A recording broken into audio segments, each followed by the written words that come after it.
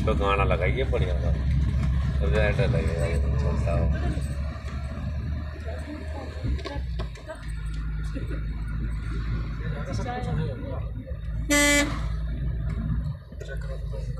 चप्पल